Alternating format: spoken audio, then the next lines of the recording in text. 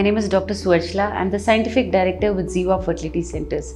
Many times when couples come to us, uh, they often ask us why the husband is also being evaluated. But you have to understand when a couple comes for infertility treatment, we are supposed to evaluate both the husband and the wife. So understand that your wife will be evaluated with hormonal investigations, uh, an ultrasonography, uh, physical examination, etc. But you as a male, as a husband, will be um, asked to undergo a semen analysis procedure. So it's a very simple investigation where you are asked to give a uh, ejaculate for semen and uh, the sperms inside the ejaculate are then assessed. We'll try to understand what the parameters are that we are looking at um, when we when it comes to a semen analysis report. So uh, there are a few criteria that you need to understand. Uh, it's the abstinence period. It is either should not be less than three days or more than seven days. So remember that when you're giving a sample. Now, when we come to the semen analysis report, the parameters that are included are the semen volume, and we're going to look at the 2010 uh, values only because those are the WHO parameters that have been set for all the fertility centers and we follow these parameters only. So, the semen volume should be 1.5 ml at least. Anything lower than that, then we call it as an abnormal sample. Now, sperm concentration. Sperm concentration is 15 million per ml as in in each milliliter of the semen sample 15 million at least should be present. Anything less than that is called as an abnormal sample and it is termed as an oligozoospermia sample. So remember oligo means less than 15 million per ml.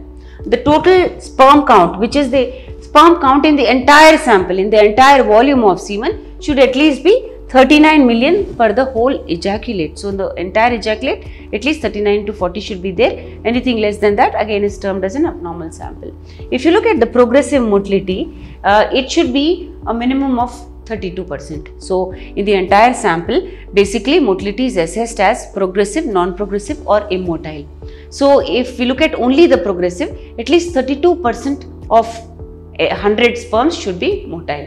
But if you look at total motility, that is progressive and non-progressive, then the motility should be at least 40%. Why are we doing this? Because non-progressive also via procedure in the laboratory can become pro uh, progressive and that can help in successful uh, achievement of pregnancy. So, it's very critical that we add progressive and non-progressive. When we look at vitality, it should be at least 58%. This is because if a sample has all immobile, immotile sperms. Then out of these, we do a test, vitality test, where at least we should have an estimation that out of all these immotile ones, at least 58% are alive. And we can understand that by the procedure that we do to make, make out whether they are alive or dead. Then coming to the sperm morphology. Sperm morphology basically means the way it is shaped. It has a head, it has a midpiece and a tail. And if you look at the shapes and sizes, this is how a normal one looks it has a head, a mid-piece and a tail. But if you look at the abnormal forms, you can see there are so many defects, head defects, a neck and a mid-piece defect, a tail defect. So there could be two tails, it could have a bent neck, it could have a large or a, a small head. All these affect the way the sperm um, uh, has its fertility potential. So if there are any defects, then the fertility potential of that sperm comes down. So it's very critical that when we are analyzing the semen analysis report, we also look at uh, morphology. Then we look at the pH and leukocytes and all these things. These are of course very critical, but what you need to basically understand um, are the sperm concentration, motility and morphology. These are very three critical things. If the motility is less, it is called as an asthenozoospermic sample. If the morphology is poor, it is called as a teratozoospermic sample. Sometimes we encounter samples where all three parameters are below normal and we term it as oligoasthenoteratozoospermia. If you want to understand more, if you've got a report which shows some abnormal values and you want to either have it tested again or get a second opinion, please feel free to contact us. Thank you.